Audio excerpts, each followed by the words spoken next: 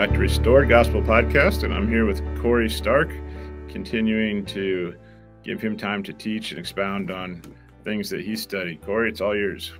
Thank you, brother. I appreciate you having me back on. Today's class is going to be picking up from where we left off at Living Hope a few weeks back. This is material we never covered. Um, I hope I don't get too excited or kind of go too fast. I know I can do that. So, the first part's going to start off with Isaiah and the Book of Mormon, and this is um, it's not trickery. I'm just going to simply show you some things I found, and this really has been my own work. I haven't leaned on anyone else, um, but well, it'll just speak for itself. So Isaiah lived, I don't know, about 750 BC. He he died maybe 80 or so years before Lehi and Nephi were writing. Um, but his works at that time were in the plates of brass. So we get this information in the Book of Mormon from the plates of brass. Now, this is a point I'll bring up again later in other contexts. But what's important is that we get a snapshot of what scripture they had 600 years before Christ. Um, this helps resolve a few disputes, in fact, by theologians, if we want to believe that the Book of Mormon is a credible witness to these things. But um, so the the Book of Mormon it beautifully blends Isaiah. There's well over 100 and probably closer to 200 references to Isaiah, and by reference I mean just a single verse here and there, um, not entire chapters. We have entire chapters as well, but uh, sometimes uh, what we read in the Book of Mormon is actually a, a, little bit different than what we get in either the King James or the Inspired Version. Now, it's interesting because critics of the Book of Mormon will often line in their bullet points of criticisms, oh, Joseph Smith just plagiarized from Isaiah. Well, I've heard that, and I wanted to understand that if it was true or not. So, in my process of study, I, for myself, I believe I answered that question, but it's the other things I learned along the way that were kind of surprising to me. Um, so, I'm going to state up front that Isaiah, as it's contained in the Book of Mormon, is not plagiarized. There's there's nothing close to it, and I think some of these scriptures will bear that out. So I started comparing the Book of Mormon eh, eh, verses in the King James, but then about halfway through that pursuit, I thought, well, this would be interesting to add the inspired version in here too. So I did that, and I've got a spreadsheet. I'm not going to actually show you the spreadsheet, but it has tabs that compare all three books together, verse by verse, in as much as I could root out the the inspired version. I'm sorry, the the, the Isaiah passages from the Book of Mormon. It's easy to find them right in the Bible, uh, King James or inspired version, but sometimes they're blended in in the inspired version, and that in and in and of itself answers a question I have, which when I was younger, I was sometimes a little frustrated because I'd be reading in the Book of Mormon and then I'd want to know, well, where does this correlate to in Isaiah? Because I, I knew it was Isaiah, but I didn't know where. And that in and of itself is tiny, but it's a testimony of the validity of the Book of Mormon. The reason is Isaiah's writings, Psalms, Proverbs, none of those writings were divided by chapter and verse. They were simply referenced to by the line they began with. And in the in the days anyhow of you know of Lehi and Nephi, there weren't chapter and verse markings. So this is important because in the Book of Mormon, there's not a single reference to, like, say, Isaiah 29, verse 3 or something like that. It never does that. Now, I, I can tell you, if, if I was thinking I was going to source Isaiah, I'd have all the chapter and verse notes all over, which I do in the PowerPoint. But it's never done in the Book of Mormon. But again, it wasn't done in that day. So eh, it's a little point to the authenticity, but there's more. So, um, like I said, there's many references. I'm going to show you just starting off with one. This is kind of high welcome to Isaiah in the Book of Mormon. This is Isaiah 51 1, and it's a common verse. But what's interesting about it is how it's used in the Book of Mormon. The inspired, uh, I'm sorry, this is just the King James, uh, but it, it includes a line here that's not stated in the Book of Mormon. This first part that says, Ho, everyone that thirsteth, come ye to the waters. He that hath no money, come ye buy and eat. That part isn't contained in the uh, Book of Mormon, but it picks up with this line, which says, buy milk and honey without money and without price. Well, in that, there's a difference because the Bible reference says, buy wine and milk without money and without price. But the Book of Mormon says, buy milk and honey without money and without price. Well, that in and of itself is a difference. But what's beautiful is how this is used. I'm quoting here from this RLDS reference, Second Nephi 11, which is Second Nephi 26, if you're following in the LDS. But what's interesting, and this is just something I kind of found looking it up in the Book of Mormon, when you read this in the context of the Book of Mormon, we get Nephi's words surrounding it to where the center of this is a, a chiasm built around Isaiah's words. And to, to read it all, it doesn't jump out at you. But when you lay it out, you start seeing these beautiful elements of chiasm, uh, different types of parallelism, synonymous, where these ideas are the same. Um, you get antithetical parallelism, rhetorical questions, but uh, the elements, you know, of this, he's like the C prompt. The, the center is Isaiah's words, but where you get him talking about departing from you, well, that's surrounding it you know, he's not commanded anyone to depart, or shall they not partake in B? And then it asks the question, hath any commanded that he should not partake? Um, so here you get a statement, and then you get a rhetorical question, and, and you get these back and forth. He does not anything save it be for the benefit of the world, that he could draw all men unto him. And that's how it ends, but with a rhetorical question Hath the Lord commanded any that they should not partake? No, but all men are privileged, all to come to him. So, anyhow, just as an example, this is, I think, just a beautiful element that I don't know how you take Isaiah and make it better, but they did it and they, they weren't plagiarized. I mean, none of this stuff could be plagiarized, but to build a beautiful chiasm that is not only beautiful to read, but has content and is is correct.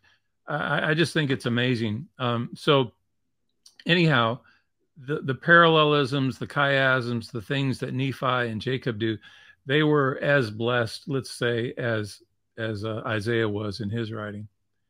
So that's just sort of an intro. But um, we we get other little ones like this is just a single verse, Isaiah 54, 5. If you read it in the King James, for thy maker is thine husband, the Lord of hosts is his name, and thy Redeemer, the Holy One of Israel, the God of the whole earth shall he be called. What the Book of Mormon has is the same verse, but it simply omits one word. This word is. But when you read it and, and it says, For thy maker, thy husband, the Lord of hosts is his name, all of a sudden what you realize is this is another beautiful parallel. You get thy maker, thy husband, the Lord of hosts is his name a redeemer, the Holy One of Israel, the God of whole, the whole earth shall he be called. Um, it's a parallelism on multiple levels, but it's it's more accurate to the Hebrew. Uh, here, the translators likely inserted this word is because they felt like that's what it had to to be to make sense in English. Okay, I, I get that. But they missed the larger point that all this verse was a beautiful parallel. And Thy Maker, thy husband, the Lord of hosts is his name. Thy Redeemer, the Holy One of Israel, the God of the whole earth shall he be called. That all fits in, in noun and verb and subject. Um, and it's lost if you simply have that word is. What a difference the word is makes, right? I guess it maybe depends on what your definition of is is, right? But uh, this is this is just another element. It's tiny, but it makes me realize this in of in and of itself couldn't have been plagiarized. I mean, if you plagiarized, it would have copied it word for word. But to remove one specific word and then have a beautiful parallel emerge, to me is just, I don't know, it's it's not kindergarten stuff. So the Book of Mormon restores, I believe, proper parallelism. And Isaiah was a master of parallelism. So here's where we see the divinity of the translation, where again, the content is more accurate. Now, I'll make a statement about this in that it's true of all scripture in that there can be errors because the the work itself was copied by hand by people scribes who dedicated their lives to write accurately as as accurately as possible but there were no photocopiers and there were no digital recorders So if you had a copy of scripture, it had to be done by hand.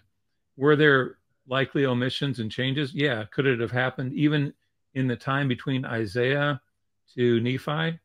Perhaps so.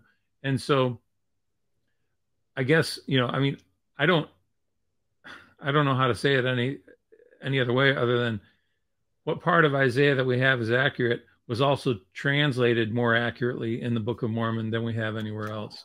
And, and I think that becomes evident. So going on, um, jump in here, Mike, if you want to comment too. Okay.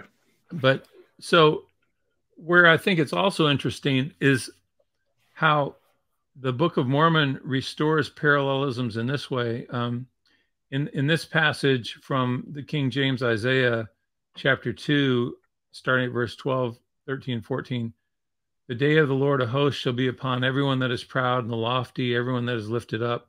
Upon all the cedars of Lebanon they that are, that are high and lifted up. Upon all the oaks of Bashan upon all the high mountains and the hills that are lifted up. But what we get in the Book of Mormon is this beautiful chiasm and it adds an element. It adds the nations. And when you have the nations added in here, you get this true meaning now, which states, and this is how it reads in the Book of Mormon For the day of the Lord of hosts soon cometh upon all nations, yea, upon everyone, upon the proud and lofty, and upon everyone which is lifted up, and he shall be brought low. See that that context here in red is all omitted in the King James. And then what you find out is eh, there's a chiasm built around this of the day of the Lord coming upon all the cedars of Lebanon, for they are high and lifted up.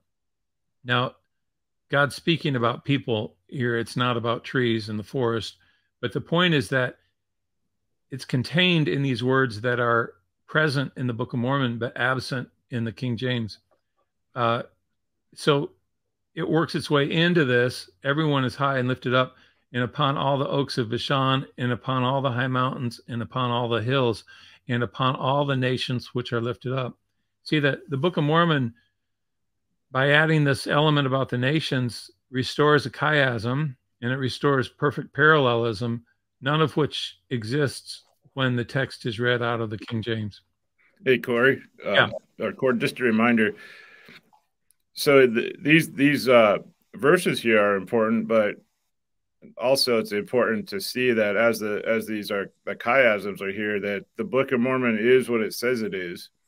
So even if these verses here you know you look at and say well what does that mean? I don't i don't know what the cedars and the bashan and all that means anyway so what's the big deal? The, and and the important thing is the book of mormon is what it says it is. This is a perfect uh, example of hebrew writing and poetry and and um and the bible has gone through you know many hands and so if it's what it says it is, even in these little tiny things, then all of the other major doctrinal things about salvation and atonement and coming to Christ all can be relied on. So it's just, I think it's important to know that this proves in so many ways that this wasn't the work of a man, but it was a divine work and that we can use it to, as a foundational truth about Jesus.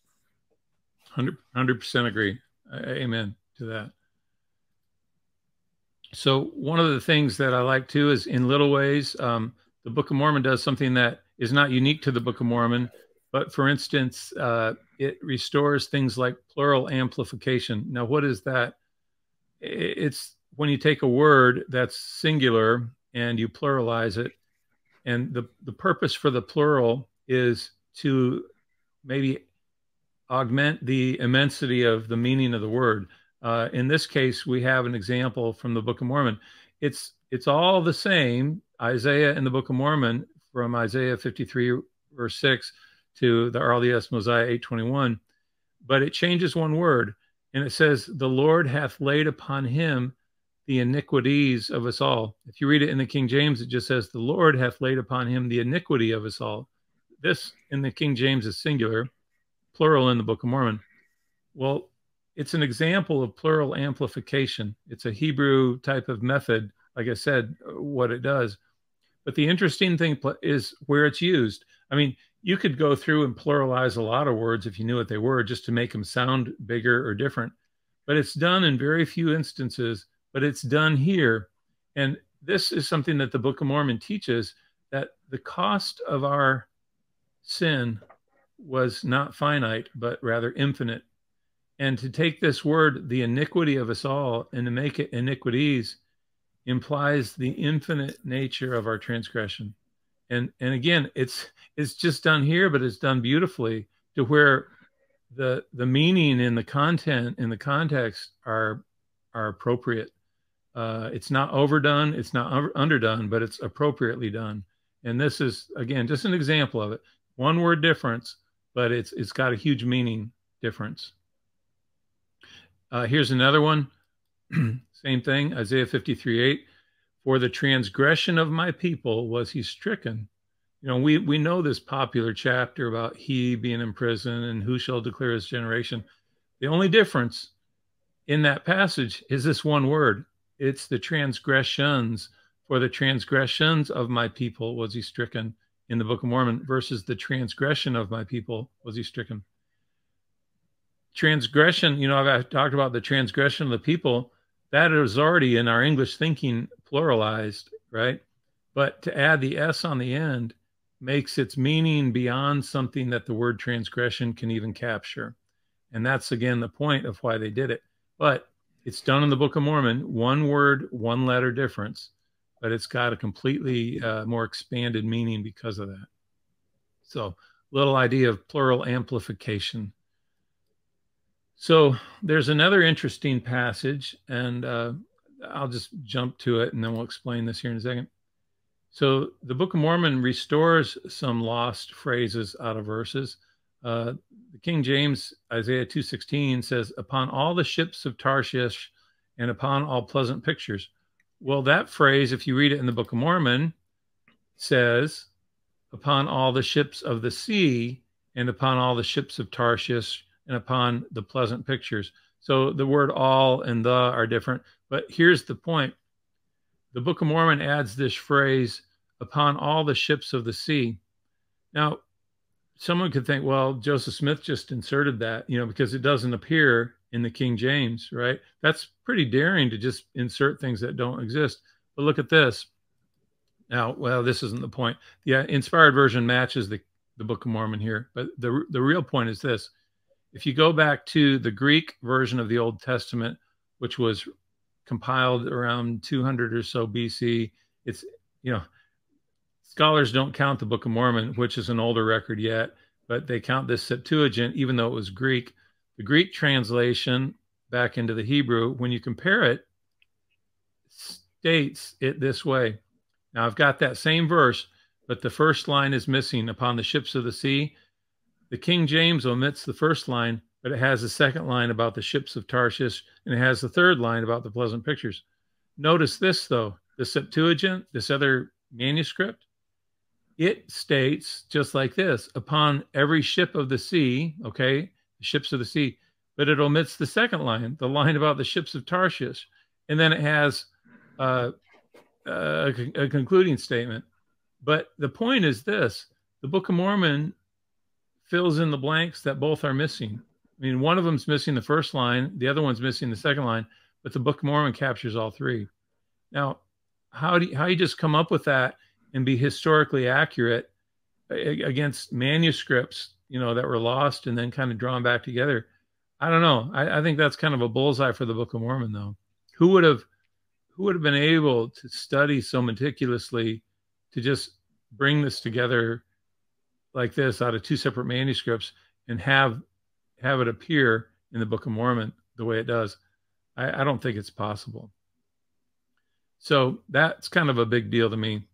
Um, scholars, LDS scholars, and other people have written about this. I don't know if it's gained a lot of fame around the world, but it's just one of these things where it makes you scratch your head and have to say, well, there's something here to it.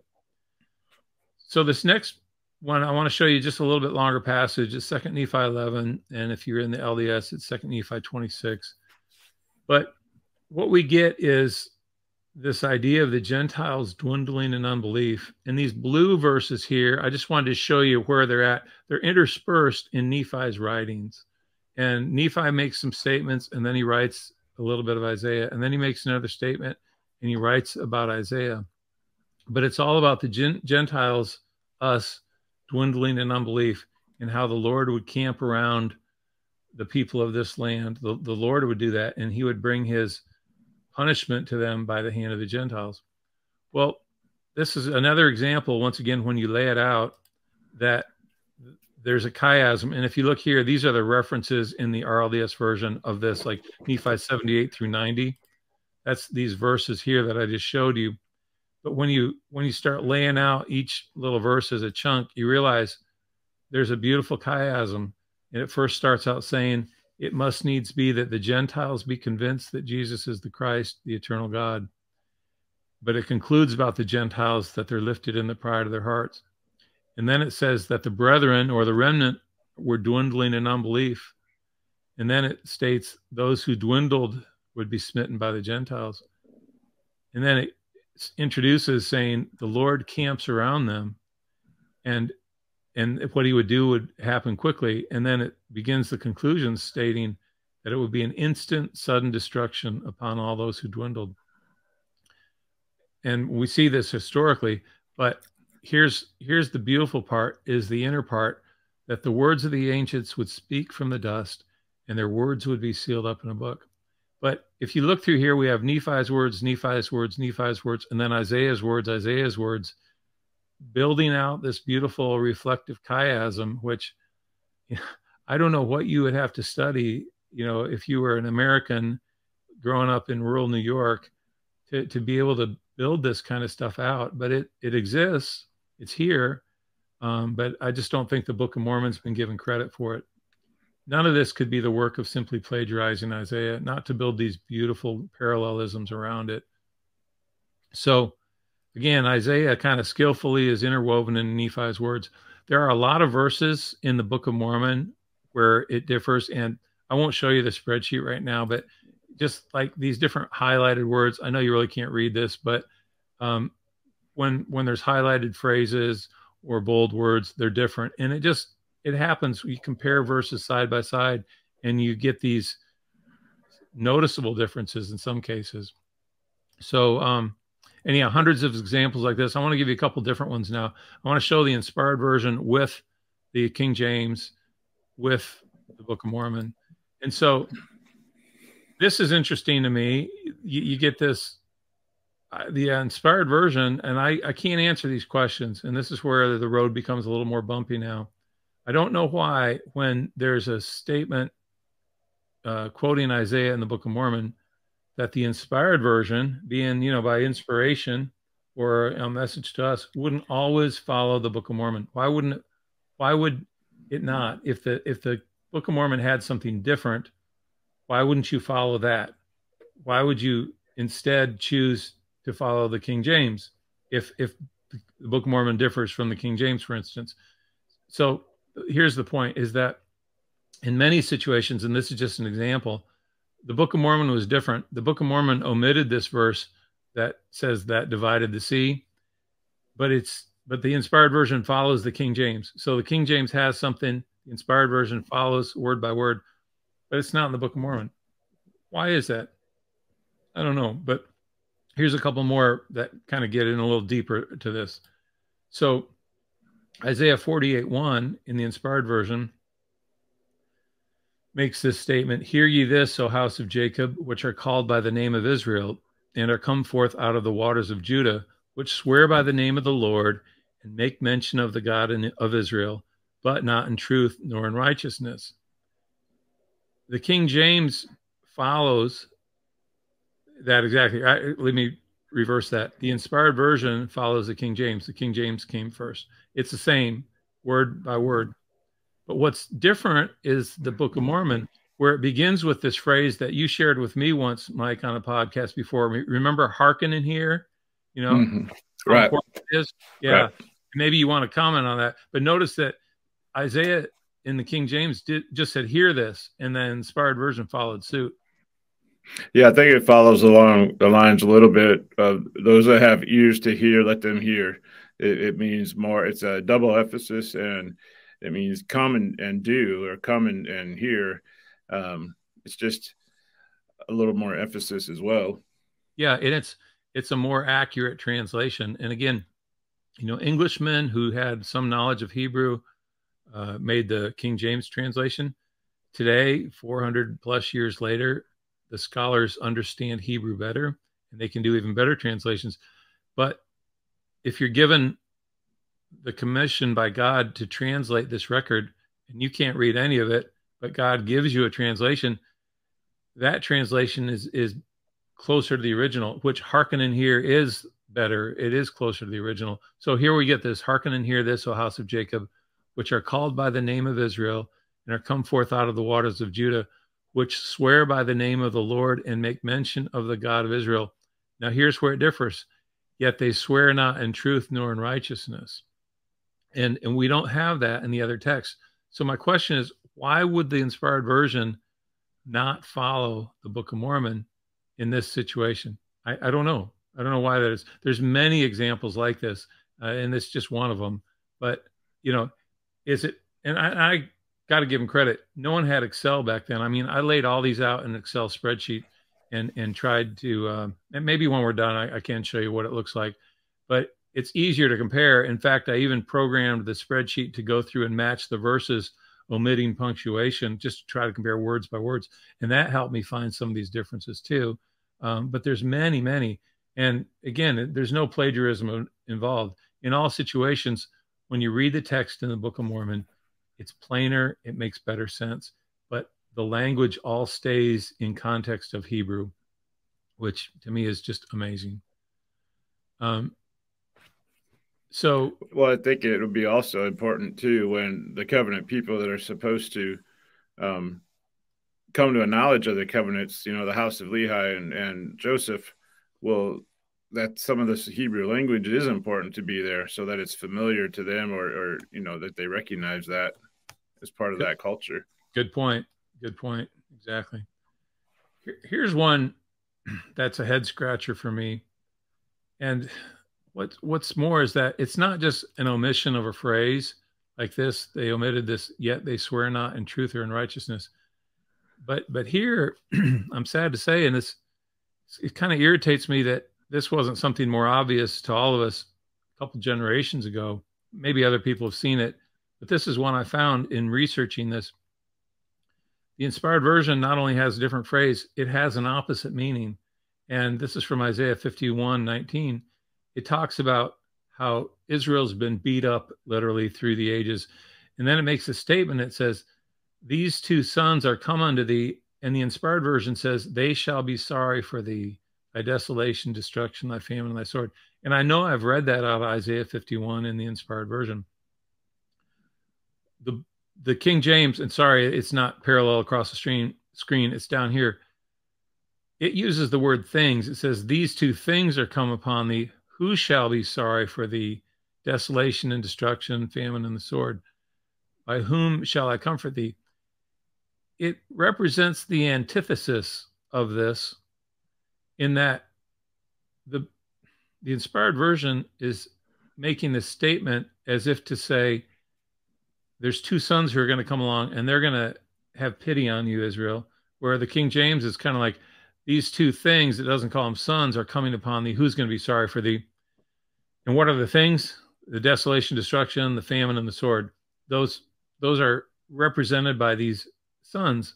Well, what the Book of Mormon says is something totally different. It's better than the King James, but it's opposite of the inspired version. And this is what bothers me. And I don't have an answer for this unless someone was just writing what they thought it meant. Uh, but what what we get is I'll, I'll start a couple of verses before in Second Nephi five. Awake, stand up, O Jerusalem, thou hast drunk at the hand of the Lord the cup of his fury. Thou hast drunken the dregs of the cup of trembling wrung out, and none to guide her among all the sons she hath brought forth, neither that taketh her by the hand of all the sons she has brought up. So here we have a little context. It's saying, hey, your children have all abandoned you. And then it's as if it's saying, and there's two more children coming though, but they're not here for any good either. And these two sons are come unto thee. Who shall be sorry for thee?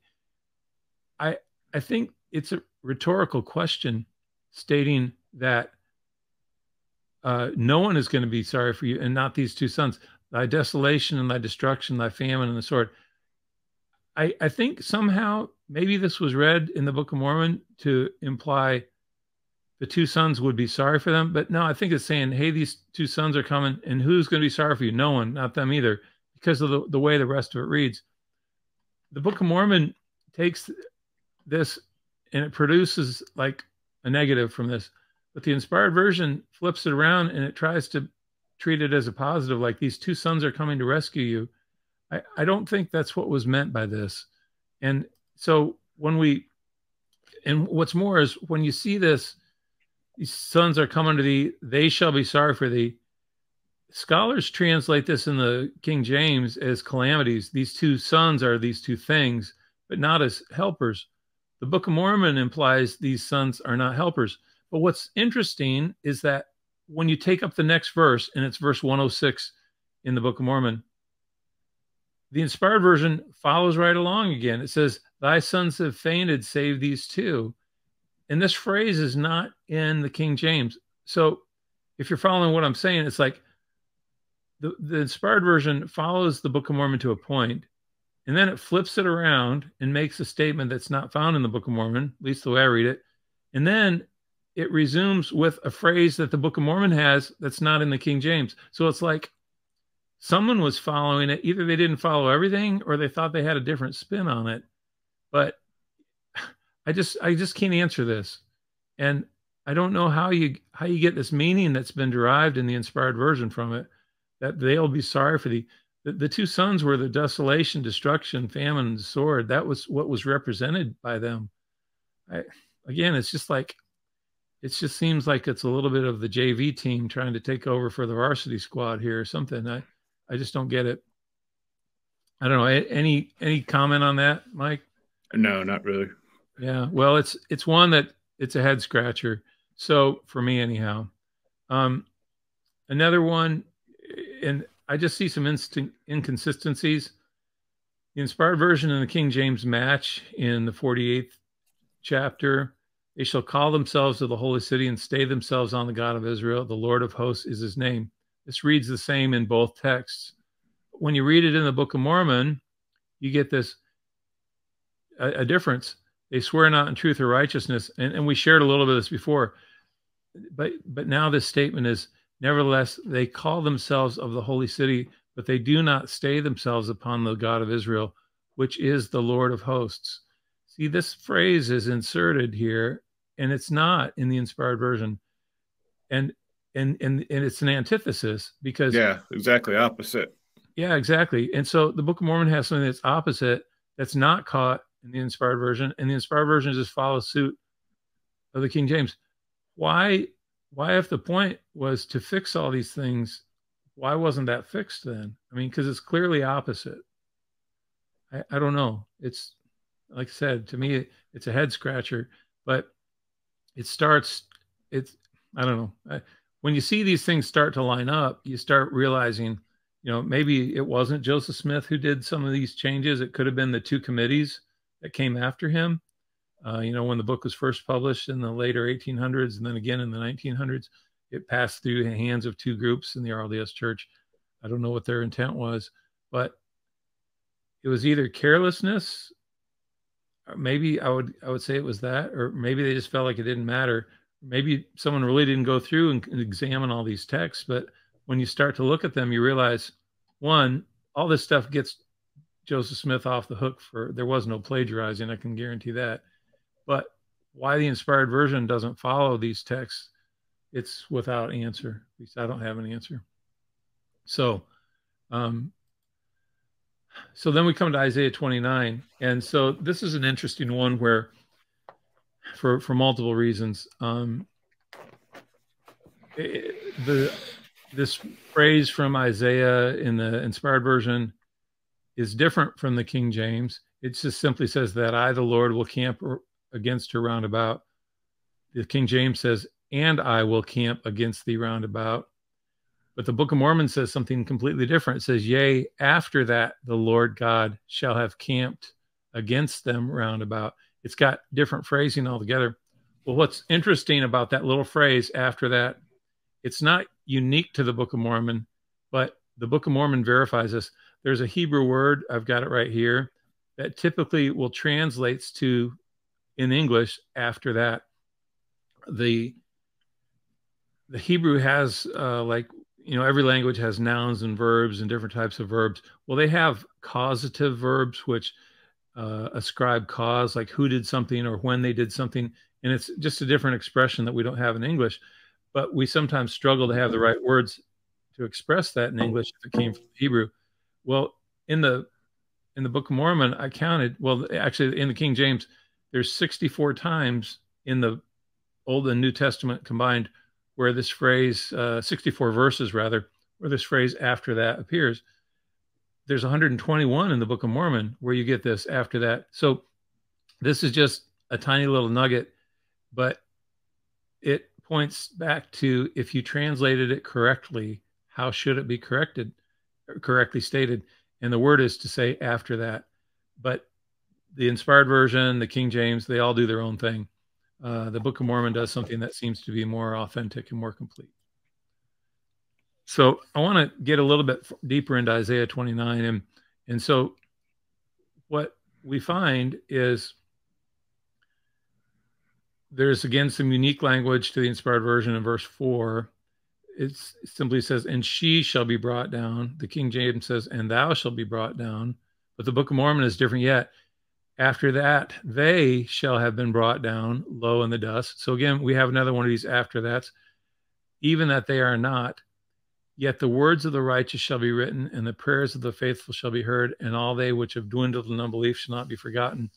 For they which shall be destroyed shall speak unto them out of the ground, and their speech shall be low out of the dust. Their voice shall be one that hath a familiar spirit. When we compare this, now I, I would be willing to argue that maybe these words in red were Nephi's words, but the words in black were, at least the the first ones were part of Isaiah's writings. It, it matches. But what's interesting is this part down here.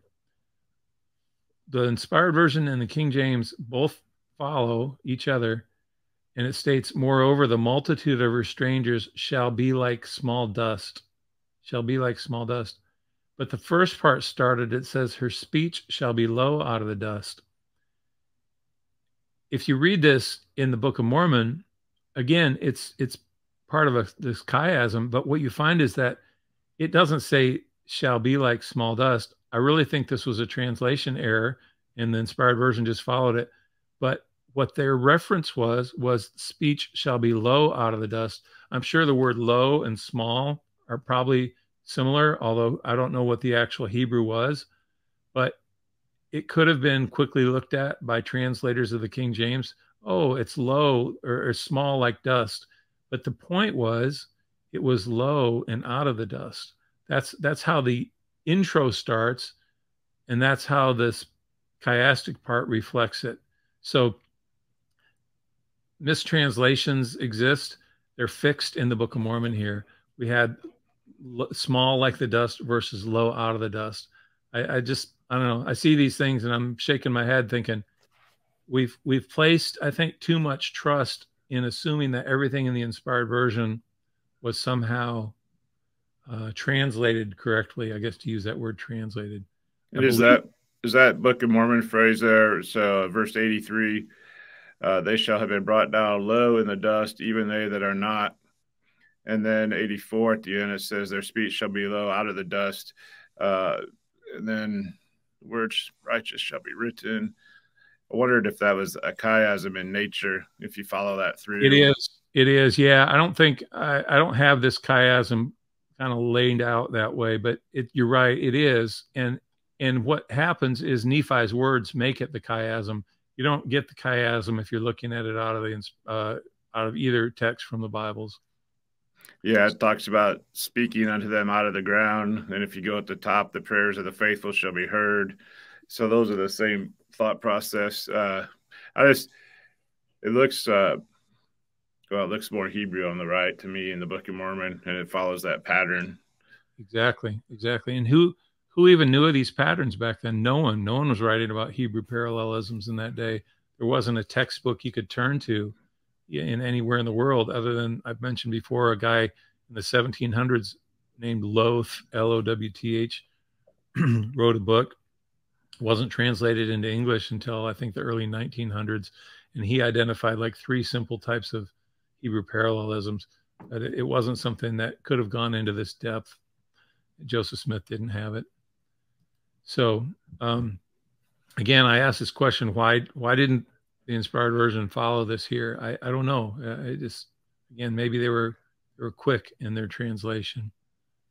Uh, if you go to Restored Gospel, you can click on this section that says the inspired version King James comparison, and it'll bring up an opportunity for you to compare most of the changes between the King James and the inspired version. Now, if you look in Isaiah 29, you're going to see it, it lays out like this. And I know it's hard to read, but the point is you get large blocks in Isaiah 29 that don't exist in the King James Version. The previous ones we looked at, yeah, the, the verses line up and there's a word or phrase difference. Then all of a sudden you get lots and lots of verses in the inspired version that are unanswered in the King James. And I used to read this and think, well, this is the inspiration that that Joseph had to write this in. But then what I realized is it it came from Nephi's writings, and I'm I'm not gonna I'm not gonna summarize all this other than I'm not gonna go into the details of this rather than to just summarize it and simply say Nephi's words were plain and simple. Isaiah's words were effective, but they they always followed a pattern of his parallelisms. You don't get that in these words, and and so these ones that don't have an answer what this is an example of is Nephi's writings. They were unfortunately inserted in the inspired version, I believe, out of a zealousness, either on the part of Joseph Smith or RLDS committees, to promote that a sealed book would come forth, because I, Isaiah only had a sentence or two about it.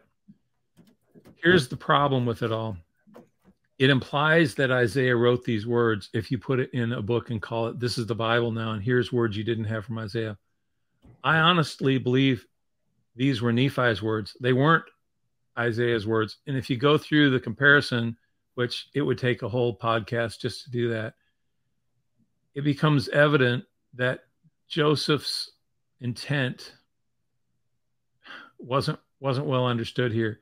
It would have better been left to not include all these verses. It, in fact, I'll go a step further. It would have been better not to even call this an a translation like Joseph Smith's New Translations. That's what they were calling it. Maybe call it a commentary, you know, a Bible commentary. But to call all these things where you have all these verses here that are that are different, how can these be a translation when they're when they're not the same as this text that we just got out of the ground called the Book of Mormon? How can that be a translation if there's a difference? I mean, I think the Book of Mormon provided the clearest translation of Isaiah possible. In the places where the inspired version differs from Isaiah, it's certainly not better. In fact, it seems to be wrong. I hate to use a strong word, but it, it seems to be incorrect. It seems to wander. So, anyhow, you can look at it yourself if someone's interested in taking this any further. But, but I just feel like all of Isaiah's writings should have been left intact. If you want to call it a commentary, that would have been better, but not a translation. It, it wasn't translating Isaiah's words, it was Nephi's words. Comments or thoughts? Nope. All right. So, kind of my thoughts. So, one of my conclusions on this is that Joseph Smith didn't plagiarize Isaiah. There's too many differences, and and the differences in the Book of Mormon are are better. Critics will sling dirt saying, "Oh, he he just plagiarized it." They they hope that it discourages you, but they haven't read the text. I can guarantee you they haven't, because if they had, they would have been quiet about this, hoping that we didn't notice the differences. Well, now the differences are coming to light. They don't hurt my faith in this because I'm realizing now, and for some reason I'm going to share here in a minute, that the, the, the inspired version we got was influenced by different people, different different writings. Um, that'll bear itself out here in a minute. But my faith wasn't in that. My faith was in what Joseph Smith was given. According to the Book of Commandments, his only task was to translate the Book of Mormon. That was his only gift, rather. And so, in that, I think he performed that flawlessly. I think he was put up to other things by people around him, and maybe this translation, as we call it, of a Bible wasn't necessary. If you leave the King James on its own and compare the Book of Mormon to it, the Book of Mormon just shines. If you bring the inspired version into the mix, now you got to start answering questions like Isaiah 29, and it can be fraught with difficulty. So, anyhow, my second conclusion is that if you want to read Isaiah, just read it from the Book of Mormon. It's a far better version in a translation. So, oh, th- this is just some questions I had. So, there's a lot of differences in that. We've we've talked about it. I think the Book of Mormon has good answers for this. The, the second part I want to talk about is called the Adam Clarke commentary. I guess I could have done this as a separate one, but since our time has been limited, I thought, well, I'll just do this together. Um, there's been some work in the last few years that has shown that of the different ways the inspired version differs from the King James or the authorized version, you know, we've always been told well, was done by inspiration. Um, that could be true. And I'm not saying some of it isn't inspired, but what's interesting is things that I always felt like had to be inspired. And, and now we're finding they may have come from a different source. One of them was a guy named Adam Clarke Who is Adam Clarke Not someone I've really heard about my day, but uh, he, he lived in the 1700s, died in 1832. He wrote a biblical commentary called the Adam Clarke Commentary. Uh, and he was an Irish Methodist guy. He was well known in his day. He was a Hebrew and Greek scholar. Um, his commentary was well regarded. He took over 40 years to write it. Okay. And it became available in the 1820s. So it was definitely around when Joseph Smith was there. It was a contemporary work. So what's interesting is that when you start comparing now the inspired version in the King James to Adam Clarke's writings, well, here's here's one. Isaiah 34 7 from the King James uses this word the unicorns shall come down with them, the bullocks with their bulls, their land shall be soaked with blood, and their dust made fat with fatness. So, this word unicorns, it, it's different in the inspired version. It says, and the reem shall come down with them, and the bullocks and their bulls, and the land shall be soaked with blood, and their dust made fat with fatness. Well, this word reem is one of the only Hebrew words that got inserted into Joseph Smith's changes in the Old Testament or the New Testament, actually. but where does this word reem come from? It, it, was used in place of unicorns. This is the Adam Clarke commentary. This was Adam Clarke's words. This is what he wrote from his commentary that I pulled out. The unicorn shall come down. And then he has this Hebrew word, reem, translated as wild goats, all right, by Bishop Lowth. So this guy Lowth, who I mentioned, he had a commentary, and that's where it came from. But Adam Clarke's commentary was the source of this word reem. Okay, um, it, you know, I'm thinking if you were trying to translate from the Hebrew and it was authentic, wouldn't you say reem or, in other words, the Hebrew translation for goat? You, I don't know, but nevertheless, it uses a singular word, which I don't know someone how to how would they have even known this word, but it inserts it, and the only person talking about that at the time was Adam Clarke. Now, let the cat out of the bag. This gentleman, Thomas Wayment, BYU professor, he and a, a Clarke, uh, or what was her name, uh, Haley, I can't remember her last name. Um, she was a student working for him at BYU they put together a book and they've got like 200 similarities now between the inspired version and the Clarke commentary, more than you could just say are coincidental. And so a few of these uh, exist here in this PowerPoint, just a few, but but I want to show you, and and there that's where their work is sourced from. You can buy the book or you can find pieces of it online. But um, this is interesting from Colossians 2. We get a phrase which exists in Colossians 2, verse 21, which, you know, if you read the preface, which for time I'm not going to read, but it just says, which are after the doctrines and commandments of men who teach you to touch not, taste not, handle not, all those things which are to perish with the using. The King James just says, touch not, taste not, handle not, which are to perish with all the using. So King James on the right, inspired version on the left, the red is inserted in the inspired version. Well, when you read the Adam Clarke commentary, he begins with this verse 22, and he makes this statement. He says, After the commandments of men, he says, these words should follow the 20th verse of Colossians 2:22, of which they form a part.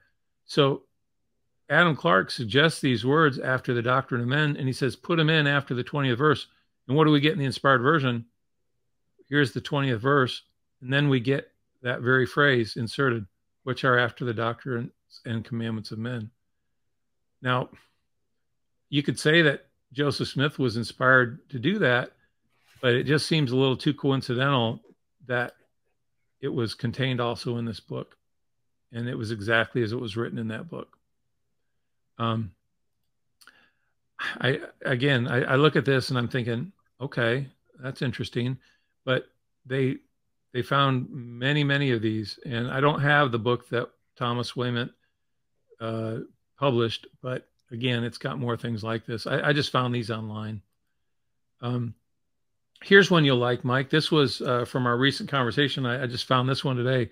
Remember how we talked about why did Joseph Smith change Revelation 12 in the inspired version about the woman in the wilderness from a thousand two hundred and three score days, as it's written in the King James, and he changed it to years. All right, that's mm-hmm. a big mm-hmm. difference. But why? Well, guess what? Adam Clarke's commentary on Revelation 12. This, these are his words. The apocalypse being highly symbolical, it is reasonable to expect that its periods of time will also be represented symbolically, that the prophecy may be homogeneous in all its parts. The Holy Spirit, when speaking of years symbolically, has invariably represented them by days. And then he goes on to say,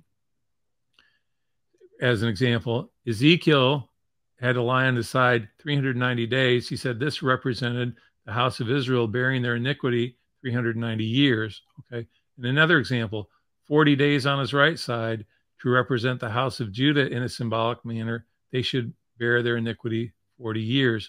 So he's showing other places in the Bible where days symbolize years. But this is now the end of his phrase. Adam Clarke said this The 1,203 score days, therefore, that the woman is fed in the wilderness must be understood symbolically and consequently denote them as as many natural years. So there it How is. if, if, there's a pattern of days being, you know, being years in the in those two examples, why not keep the pattern consistent instead of switch it so now the pattern's gone and you've just substituted what the pattern's supposed to mean. So there's you lose some consistency there. Yeah. If and in so, fact that's what it's representing and does it always represent days to years and I I would hate to sneak in there and change one instance and, and just substitute out years for you know what else should be substitute out in all of well, these prophetic things. Yeah, exactly. And so we looked at this and compared it last time to verse 14. I, I don't have it up right here, but verse 14 in the King James talks about times a time times and a half a time. So three and a half times. If a time was a year, that's three and a half years. Three and a half years is a thousand two hundred and sixty days. Okay, so that's how the math works out. So if if you left it alone, what the King James says is in parallel to the rest of the chapter. If you insert years because you're reading the Adam Clarke commentary and he says, "Hey, we're talking years here, not days." Well, where did that come from? it was the Adam Clarke commentary. That's where it was suggested. Least that's how I read it. So, you know, I, I don't know that it was done so much by inspiration to change Revelation 12. And this goes back to what we were talking about before, but I, I think it's worth bringing up in context. What we've relied on in the restoration is it's, it's somewhat criminal. We've taken this word 1260 which in and of itself has no bearing to something in the latter days that that we as the church associate. But then we're told oh well there was a theologian who lived sometime afterwards and he came up with a year 570 when the gentiles christianity died out so to speak. And everything after that time wasn't anything following the teachings of jesus. So what we in the restoration have done have taken a biblical number and combined it with a theologian's number to come up with a new number, which 570 plus 1260 equal 1830, which bingo, from the time of Jesus' birth to 1830 is when the church arrives, and suddenly we think we're fulfilling prophecy. Well, the where else does God ever do that? He says, "Well, I'm going to give you a number, and then you have to kind of combine this with a different number, and then, but that's not in Scripture, and then the sum of those two numbers equals something where I'm going to do something really great."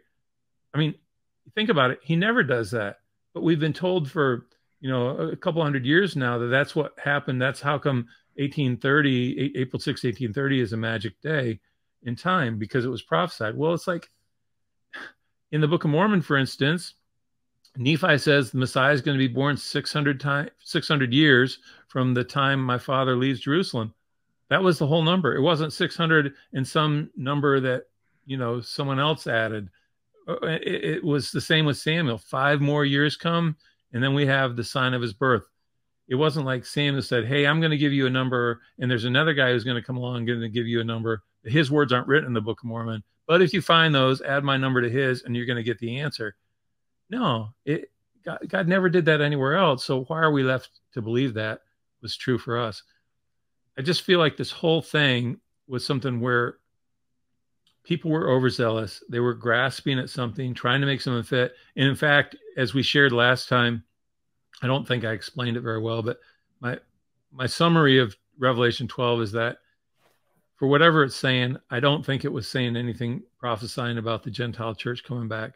There were words added to it later that weren't part of the Adam Clarke commentary either about the kingdom being born and everything. I just think we need to take it all and put it aside and say, okay, what does the Book of Mormon say about all this? Um, it says something totally different. And again, if we start seeing these revelations through our own restoration Gentile paradigm, we might miss the larger meanings. So, um, okay, enough of that. So here's here's one more, and I think this is kind of last one I want to share on this. We've been trained that the inspired version had, uh, you know, verily uh, an explanation. Lead us not into temptation in the King James is read suffer us not to be led into temptation, but deliver us from evil. I mean, every eight year old in pre baptismal class learns Matthew 6 this way. It's unique to the inspired version. We've been taught the beauty of this because it's the explanation that God would never lead us into temptation, but we want to appeal to him so that we he would not suffer us to be led. That just seems more consistent with the nature of God that we believe. And I believe that's true. But I also believe that came by inspiration. And, and what I'm finding is this this word suffer us not to be led. Uh, this not only comes from Adam Clarke's commentary, but I'm just going to jump down to the bottom. He, he, he points this out. He says the primitive fathers would have understood it differently. And he talks about this, and this is a word I love to use. Adam Clarke uses this word, Hebrew, Hebrewism. And he says, this phrase, um, lead us not in, is a mere Hebrewism. Adam Clarke said this God is said to do a thing which he only permits or suffers to be done. So here, Adam Clarke is teaching that this phrase, lead us not into temptation, was a Hebrewism, but God would only do the things that he would suffer to be done that word suffer is present, but it gets better. There was another commentary produced in 1811. It would have been popular in the day, but this was on the Catholic Bible. This scholar, George Haydock, was again well renowned. He says, God is not the tempter of evil or the author of sin. He tempteth no man. We pray that he would not suffer the devil to tempt us above our strength. See, he's commenting on this same passage saying, that we pray, our prayers should be that God would not suffer us to be tempted above that which we can bear. It's right here in the commentary. Wesley, John Wesley, uh, a little earlier in, in the 1700s, produced this. And his commentary says of the same passage, Lead us not into temptation, but deliver us from evil. Oh, that thou helpest our infirmities, suffer us not to enter into temptation. So, again, these are commentaries that are widely available in Joseph Smith's day. It wasn't a novel thing to come up with this idea, do not suffer us. Uh, here's here's the last one. Now, this was published in 1832. it may or may not have had influence on Joseph Smith, but but it may have because it makes this statement, and I'm just going to jump down to it. This phrase then must be used with the sense of permitting. Do not suffer us or permit us to be tempted to sin.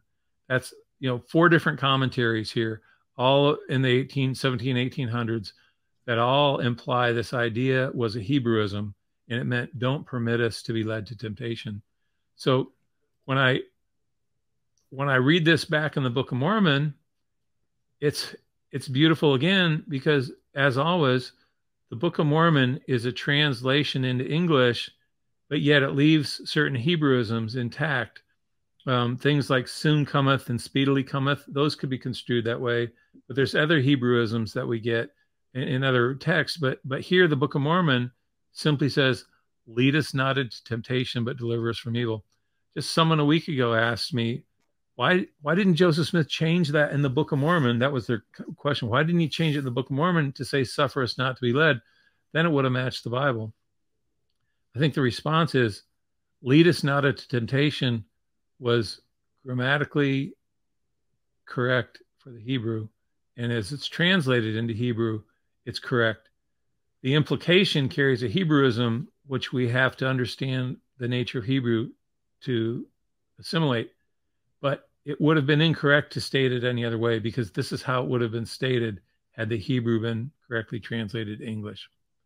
And they wouldn't they wouldn't have needed to have commentary on what it really means. They they would have understood it. Exactly. No, that's a great point. and I hope everyone listening got what Mike just said. The people in Jesus' day knew exactly what it meant, and it was written the way it was stated. It it wasn't it wasn't split out for us to uh, somehow understand it as Englishmen. And so that's how it was stated in the day, and that's how it was recorded. So, yeah.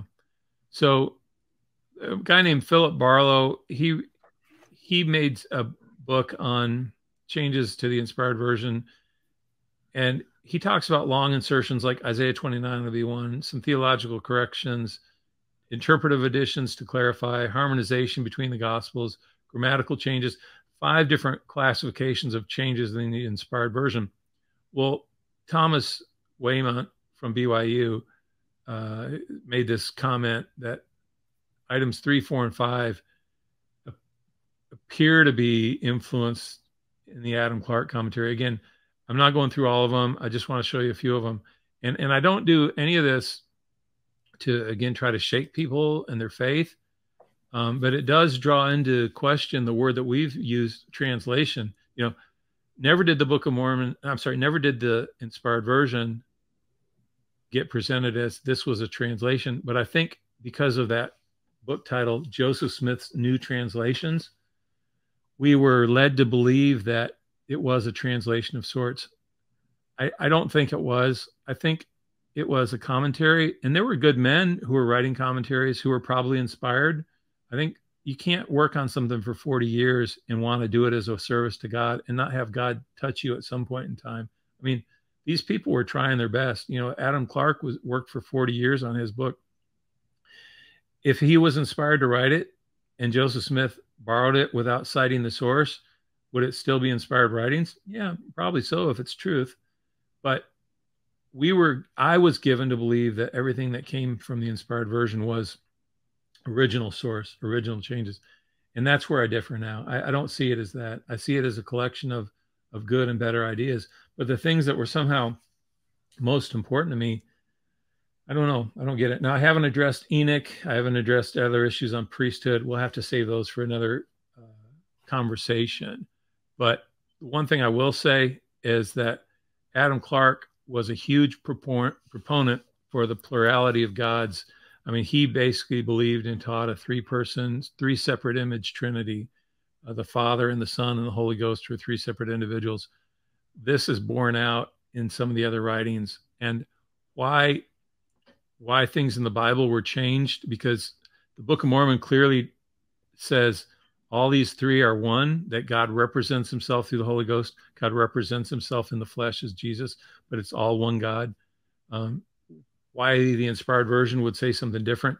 That seems to have come from influences from people around Joseph, maybe Joseph himself. But when you compare it back to the Book of Mormon, there's not harmony. My solution is okay, go back to the Book of Mormon, hold on to it, because I believe that's what was given the Gentiles so we would not stumble. And so, um, anyhow, that's probably a second and separate conversation about just the plurality. And I know, Mike, you've brought this up from even different sources of where some of the writings that are in the inspired version and the plurality of God suggested could have come into play. Uh, you know, I don't know. Maybe we need to have that conversation too. Yeah, and that Trinity is that that word for Trinity. I think has taken on meaning differently at different times, and even among that word, people look at it different. You, you can follow people like the Bible Project and uh, their explanation of God, and it's uh, it's what I would say would be in line with the Book of Mormon. They get it um, just from understanding Hebrew and the words that they really meant. Yes. But it and, and not I don't I don't even know in the Christian world, even though they have the word Trinity, that they look at separate mind and thought uh, all along the spectrum. I think there's a variety of understandings among them too, at least from what I've read. Yeah, let's let's take that one up sometime. That would be good to dive into. So if we look at the Joseph Smith Bible translation versus the Adam Clarke, again, I would turn you to Thomas Wayment. You can search him online.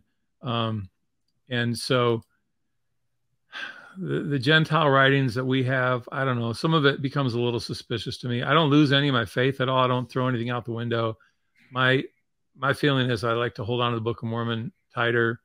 I like to hold on to some of these other things more loosely. I I do not want anyone thinking you have to reject God and the Book of Mormon now.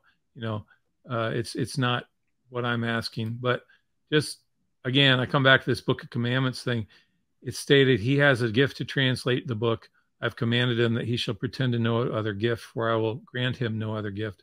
You know, did translating the Bible, did that fall under something else, a classification outside of the Book of Mormon? Maybe so. I, I, I just, I don't know. It, it, it gives me more questions than answers, but I always feel comfortable when I come back to the answers in the Book of Mormon. Don't lose heart, you know, lean on the Book of Mormon. That's what I say. Um, the reason I was a little hesitant to share this is because I know it can be uncomfortable for some. And the, the book of Jacob teaches that as bad was removed from the trees, they only remove the bad as the good began to grow. Um, you know, maybe in your life you don't have to worry about removing anything if it's bad. Just hold on to the things you know. Let let the good things grow for a while. Uh, but I think there's a point too when we start letting go of things that could lead us astray and we want to hold tightly to the things that are going to lead us to Christ. And, and that's what I see the Book of Mormon doing. So I lean on that and I don't lose heart. I don't throw it all away. I don't have any answers to some of these things. I just see these things and I look at them and I realize we've been given a real treasure in the Book of Mormon, and I've been remiss for not studying it more thoroughly my whole life. I want to now. I, I want it to be the real thing that guides me and teaches me about who the Savior is. Yeah, so this um I've done this a few different ways, but I tried to make one overall spreadsheet that would do everything wherever, wherever I could find the Book of Mormon had Isaiah. I tried to lay out Isaiah from the inspired version in the King James and where there are pieces of it missing, like jump down here to Isaiah 29. I know I'm going fast. Here we have like inspired version, okay, uh, and nothing in the King James. The King James is here on the top in the inspired version, and then the Book of Mormon. But these words that are added in here, if they're green, it's because the two texts match. But if they're not, it's because there's some variation. So this this started getting kind of long, and so what I went is I started going kind of chapter by chapter. Like this is Isaiah eight with Second Nephi nine, and if there was a difference, it's highlighted in yellow. If it's, um, I can zoom in here a little bit. You can see that a little better if they're the same, I would write in the same. So we we get several things. I didn't cover any of these uh, today, but sometimes it's just a word that's different. Sometimes it's uh, entire meanings that that can be different. And so all these different tabs are just sort of the same thing, comparison side by side. And uh, I think what my intent will be with this is when I get my next website, which is the Book of Mormon Project, you, you know the Bible Project, so we borrowed their idea I'm going to publish all this on there, so it'll be a reference if someone wants to research it. Then, so anyhow, good stuff there. Very good. Yeah. Well, thank you, Corey. Anything else? No, I think that's it for now. I know we covered a lot of scripture, but hopefully this can help people. I think realize what we've got and where we're at. And again, I, I come back and I say, wow, the Book of Mormon is amazing that we have this truth in our hands. We shouldn't leave it on the shelf or set it aside for something else. I think it gives us a story that we can't find anywhere else. Well, very good. Be safe. Enjoy your trip. All righty. Thank you. Heading out of country for a bit, and we'll see you when you get back. All righty. Just remember, we're always walking each other home. Amen.